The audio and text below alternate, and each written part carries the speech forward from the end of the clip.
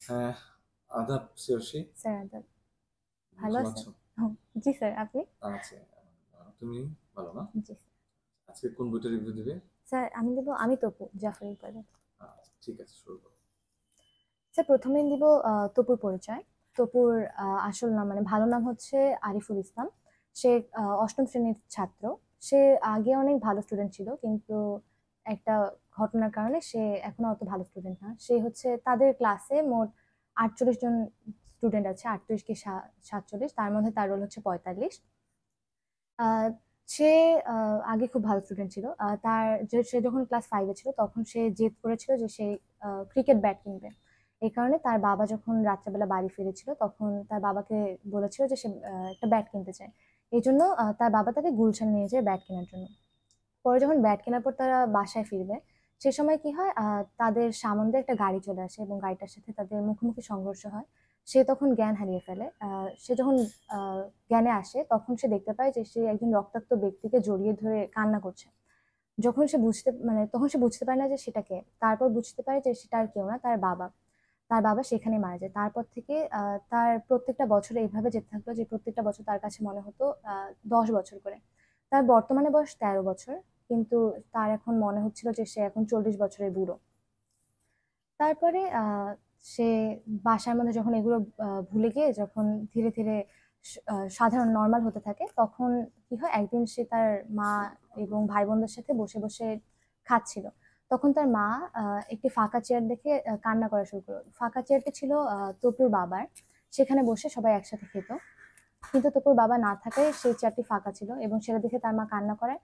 তপুরও খুব কষ্ট লাগে এবং তপুও কান্না করা শুরু করে দেন। তখন তার মা হঠাৎ তাকে জিজ্ঞেস করে, তুই কাঁদছিস কেন?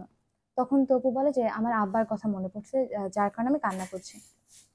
তখন তার আম্মা তাকে বলে যে, তোর কাদার তো কোনো কারণ নেই, তোর জন্যই তো যা হলো তো তোর জন্যই হলো, তুই কাঁদছিস কেন? তোর এখানে অনুশোচনা হওয়ার কি আছে?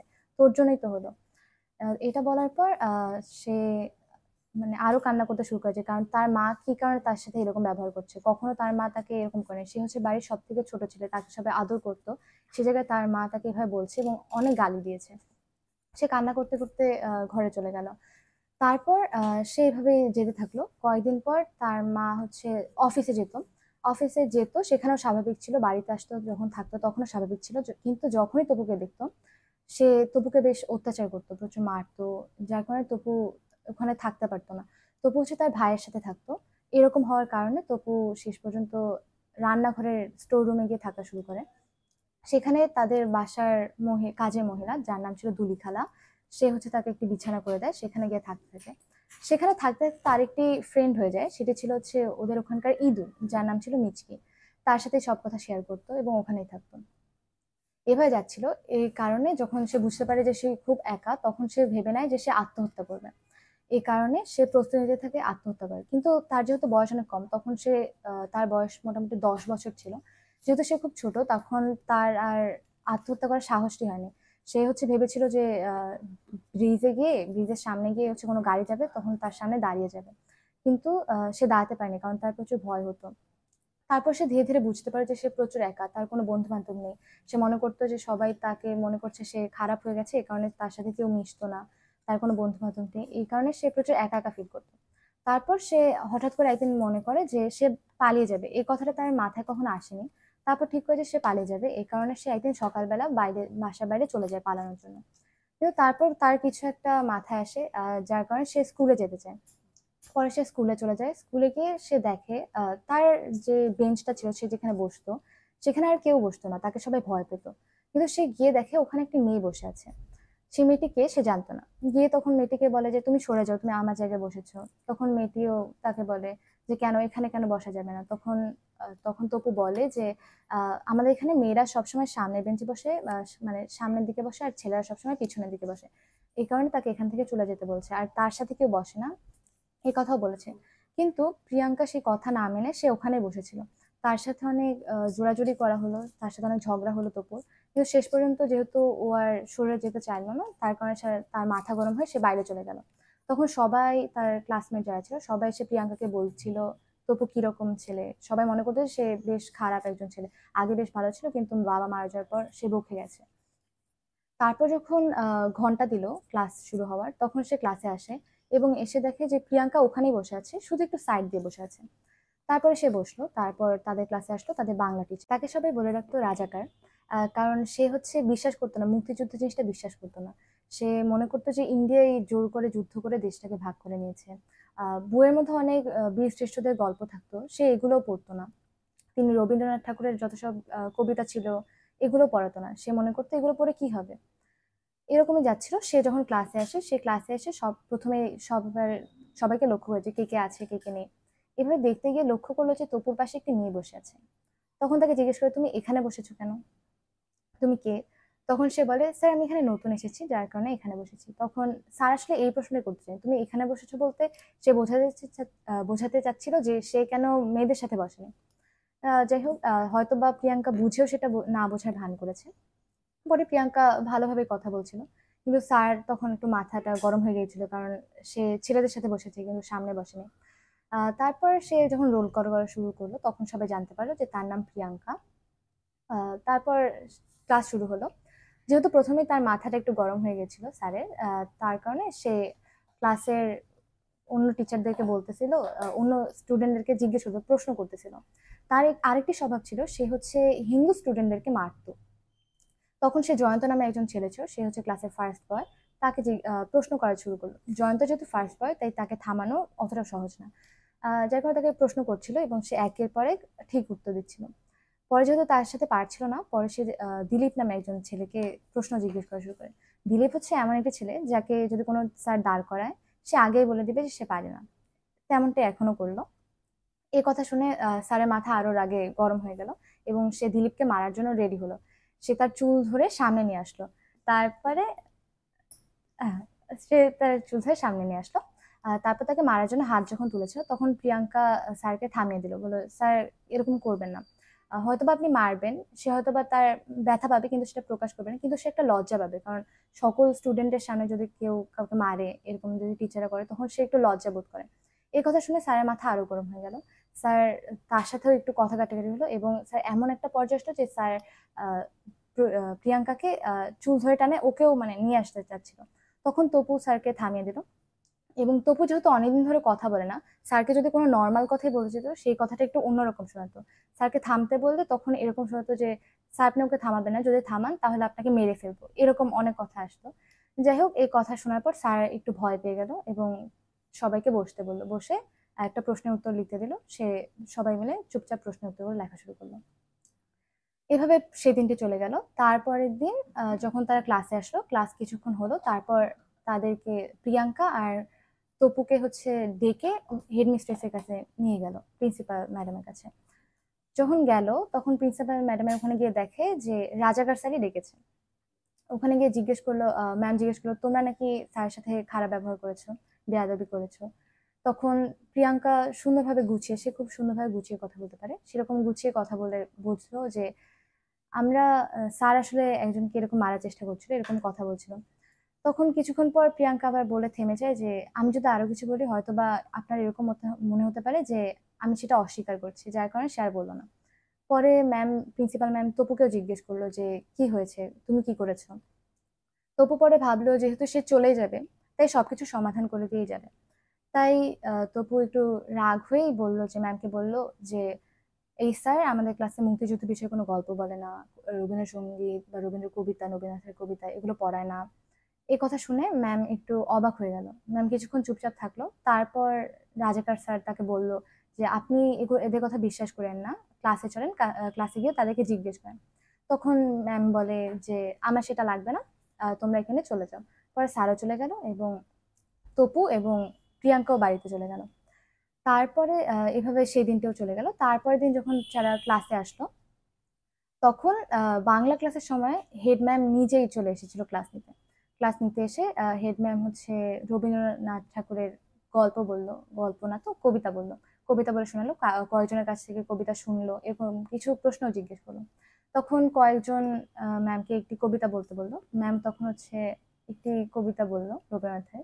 তখন তপুর মনে তপু প্রথমে মনে করতো যে যারা কবিতা বলে, এটা একটু ন্যাকামো টাইপের যার কারণে তার ভালো লাগতো না। কিন্তু ম্যামের কবিতা শোনার পর সে মনে করল মানে সে বুঝতে পারল যে কবিতা জিনিসটা তো একটা মায়া আছে, একটা ভালোবাসা আছে। এর মাধ্যমে অনেক কবি তার মনের ভাব প্রকাশ করে এগুলো বুঝতে পেরে সে শুনলো। যখন কবিতা শেষ হয়ে গেল, তখন সবাই হাততালি দিয়ে সেটা বলে দিল। তারপর হচ্ছে সে মুক্তিযুদ্ধের একটা ঘটনা বলল যে, জিজ্ঞেস করো তোমাদের, তোমরা কি কোনো মুক্তিযুদ্ধকে চেনো? অনেকেই বলল যে হ্যাঁ আমি চিনি। আমার দাদু মুক্তিযোদ্ধা ছিলেন, আমার চাচা মুক্তিযোদ্ধা ছিলেন। তখন তপুরও বলতে ইচ্ছে করল যে আমার বাবা মুক্তিযোদ্ধা ছিলেন, কিন্তু তপু বলতে পারল না। কারণ সে মনে করতো ক্লাসের খারাপ ছেলে কেন এগুলো বলতে যাবে? কারণ সে মনে করতো সে নিজে খারাপ। যাই হোক পরে হচ্ছে তা হেডমিস্ট্রেস নিজে একটি গল্প বলল। যে গল্পটি শুনে সবাই একটু ইমোশনাল হয়ে গেল। গল্পটিতে হচ্ছে তার বড় ভাইকে নিয়ে কথা। বড় ভাই হচ্ছে তার দু বছরের বড় এরকম। সে মুক্তিযুদ্ধে গিয়েছিল, গেরিলা বাহিনীতে যুক্ত হয়েছিল। একটি অপারেশনের পরে সে হচ্ছে তার মা এবং বোনের সাথে দেখা করতে এসেছিল। কিন্তু দেখা করতে এসে যখন তার মায়ের কাছে ভাত খেতে চেয়েছিল, মা ভাত রান্না করছিল। কিছুক্ষণ পর বাইরে একটু গোলাগুলি আওয়াজ শুনে সে বলল, মা, আমি বাইরে যাচ্ছি। কারণ মনে হয় রাজাকাররা চলে এসছে। হয়তো বা কিছু হতে পারে, তোমাদের ক্ষতি হতে পারে। এই বলে সে বাইরে চলে গেল। বাইরে চলে গিয়ে কিছুক্ষণ গোলাগুলির শব্দ শোনা গেল, কিন্তু হঠাৎ করে সবকিছু থেমে গেল। তখন হেড ম্যাম যিনি ছিল সে হচ্ছে বাইরে এসে দেখে যে কে জানে বাইরে কারোর জন্য লাশ পড়ে আছে। সে সামনে গিয়ে দেখে যে সেটা তার ভাই। তখন তার ভাই তার কাছে একটু অনুরোধ করে মানে ছোট বোনের কাছে অনুরোধ করে যেন জাতীয় সঙ্গীতটা একটু বলে শোনায় তখন ম্যাম জাতীয় সঙ্গীতটা বলল। এই গানটি শুনতে শুনতেই সে মারা যায়। তাকে ঘিরে এবং তার ভাইকে ঘিরে অনেকগুলো রাজাকার ছিল, কিন্তু তারা কিছু করতে পারেনি। তারাও একটু নিস্তব্ধ হয়েছিল। এই গল্পটি বলার পর সবাই একটু কষ্ট পেল। সবাইকে, তিনি বলেনি যে এটা তার গল্প, কিন্তু সবাই শুনে বুঝে গিয়েছিল যে এটা তার গল্প। তারপর কি হয় যখন তপু বাড়ি ফিরছিল, তখন প্রিয়াঙ্কাও তার সাথে যাওয়া শুরু করে। প্রিয়াঙ্কা যেতে যেতে মানে গল্প করছিল কিছু। তারপর সে বাসায় চলে যায়। বাসায় গিয়ে সে কিছুক্ষণ ভাবে একটা রবীন্দ্রনাথের একটা কবিতা পড়তে থাকে। কবিতা পড়তে পড়তে সে দেখে যে তার ওটা প্রায় মুখস্থই হয়ে গেছে। কিছুক্ষণ পর সে ভাবলো, আর কিছু করবে? তখন সে চিন্তা করে দেখল একটি সমবাহু ত্রিভুজের মধ্যে যদি আরও একটি ত্রিভুজ তার ভিতরে আরও একটি ত্রিভুজ এভাবে যদি কয়েকটি ত্রিভুজ করা হয় সেই ত্রিভুজগুলোর ক্ষেত্রফল বের করতে পারবে কিন্তু সেটা পরিসীমা বের করতে পারবে না। ক্ষেত্রফল সসীম এবং পরিসীমা অসীম। এই কথাটি ভেবে সে উঠে বসল। সে হচ্ছে এটা আসলেই সত্যি কিনা সেটা প্রমাণের জন্য অঙ্ক করতে শুরু করল। কিছুক্ষণ পর তার পেনের কালি শেষ হয়ে গেল। তখন সে কি করে? কারণ সে হচ্ছে অঙ্কটি শেষ করেই ছাড়বে আহ, তারপর সে হচ্ছে চলে যায় তার ভাইয়ার ঘরে চুপচুপ করে ভাইয়ার ঘরে চলে যায়। তখন অনেক রাত সবাই ঘুমিয়ে পড়েছিল। ভাইয়ার ঘরে গিয়ে টেবিলের মধ্যে দেখছিল যে কোথাও পেন পায় নাকি। তারপর তার হাত লেগে একটা গ্লাস পড়ে যায়, যার কারণে তার ভাইয়া ঘুম ভেঙে যায়। তখন ভাইয়া একটু ভয় পেয়ে বলে, কে? তখন তপু বলে, ভাইয়া আমি, তপু। তখন তার ভাইয়া বলে, তপু? পাশের ঘরে তার মা ঘুমিয়েছিল। তার মা তখন তার ভাইয়াকে জিজ্ঞেস করে, রাজীব, কে এসেছে? কি হয়েছে? তখন রাজীব বলল যে, মা, তপু এসেছে। এই কথা শুনে মা হচ্ছে ধীরে ধীরে আসতে শুরু করল। প্রথমে তপু সেটা বোঝেনি, পরে বুঝতে পারল। মা এসে দেখে যে, তপু এখানে মানে দাঁড়িয়ে আছে। লাইট জ্বালিয়ে দেখে যে, ওখানে কাঁচে একটি গ্লাস ভেঙে আছে খাতা, বই খাতা কিছুগুলো, অনেকগুলো ভিজে গেছে। তারপর তার মা কি করে, বলে যে, তুই চোর, তুই চুরি করতে আসছিস এখানে। এই সেই বলে। তখন পাশের ঘর থেকে আবার তপুর যে বড় বোন ছিল, সেও আসে। সে এসে তার মাকে বলে, মা, এরকম করো না, তোমার শরীর খারাপ করবে, তুমি ঘরে চলো। তখন তার মা বলে তোর ভাই এখানে চুরি করতে আসছে, তুই কি এটা জানিস? তখন এই নিয়ে তাদের মধ্যে একটু কথা হয়। তার মা হচ্ছে তপুর মা তার বড় ভাইয়ের বেল্ট দিয়ে তাকে মারতে শুরু করে, বেশ মার খায়। তারপরে সে তখন তার বড় বোন বিশ্বাস করতে চায় না যে সে এগুলো করেছে। তখন তার মা বলে, চল তুই এর ঘরে চল, এর ঘরে গেলে নিশ্চয়ই প্রমাণ পাবি যে সে আসলেই চুরি করে কিনা। তার ঘরে গিয়ে সে একটি যেখানে ঘুমোতো, সেখানে তোষকটা তুলে দেখে সে এখানে অনেক টাকা আছে, টাকা পড়ে আছে। তখন সে বলে যে, এখানে অনেকগুলো টাকা পড়ে আছে, নিশ্চয়ই তুই এগুলো চুরি করছিস। তপু তখন মনে মনে বলে হ্যাঁ সে করেছে, কিন্তু সেটা একটি কারণ আছে। কারণ সে ভেবেছিল যে পালিয়ে যাবে। এই কারণে সে টাকাগুলো এভাবে তার ভাইয়ার পকেট থেকে, তার আপুর ব্যাগ থেকে এভাবে কালেক্ট করেছিল। তারপর তার মা তাকে আরও অনেক রাগ টাগ করে এবং সে মার খেয়ে একদম কান্না করতে করতে ঘুমিয়ে পড়ে।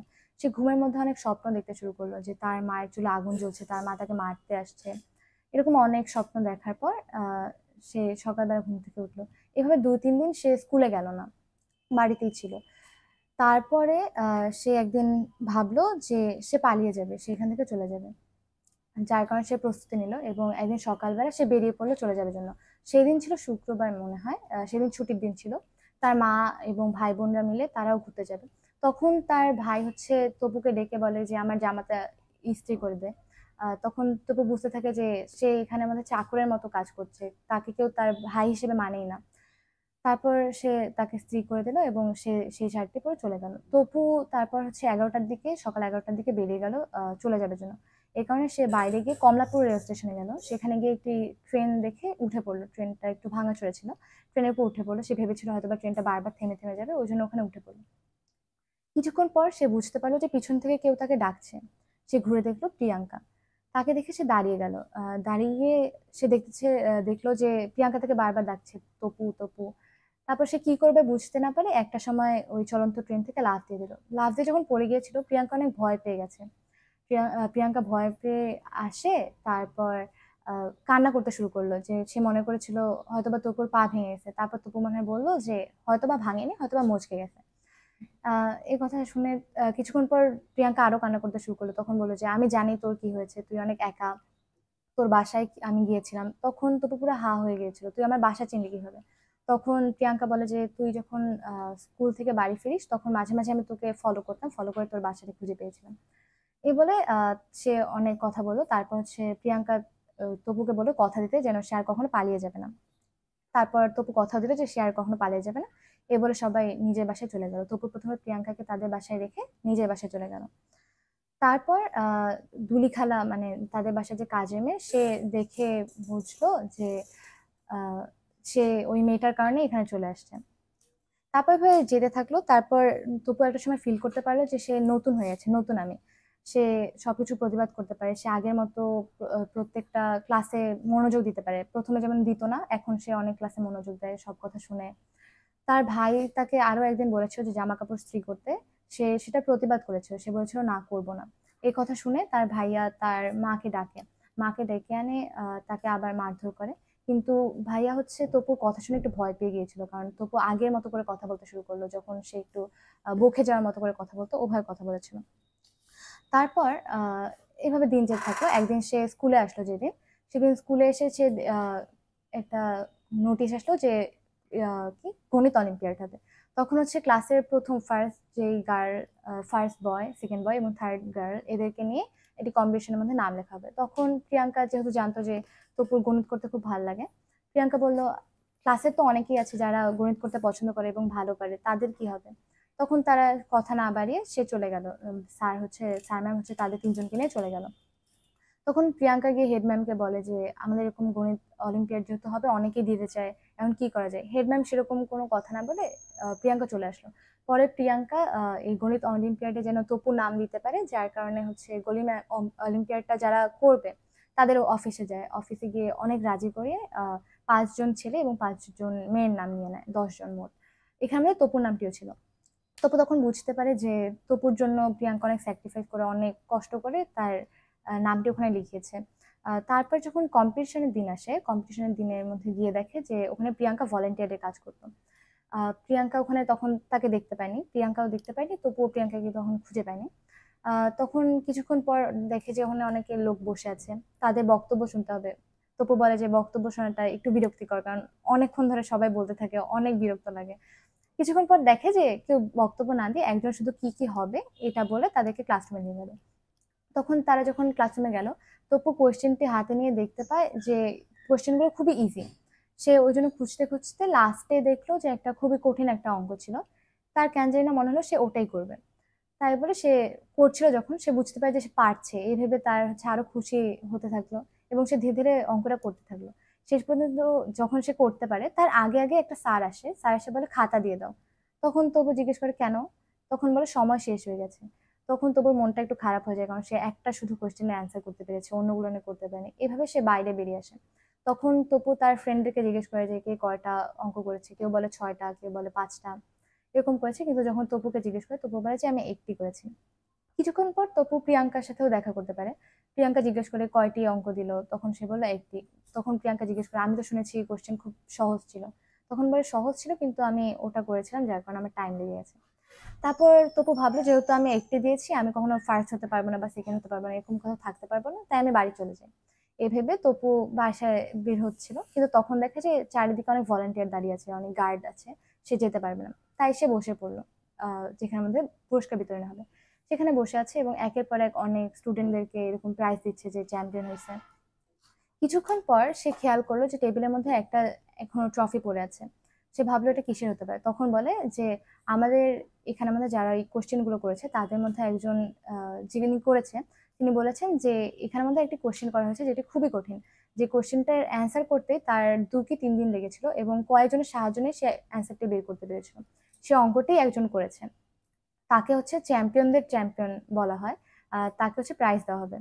এটা শুনে তপু বেশ অবাক হয়ে গেল কি হলো জিনিসটা। তারপর হচ্ছে তাকে ডাকা হলো, তপুকে ডাকা হলো। তপু বেশ অবাক হয়ে গেল যে সে একটিমাত্র কোশ্চেনের অ্যান্সার করে প্রাইজ পাবে।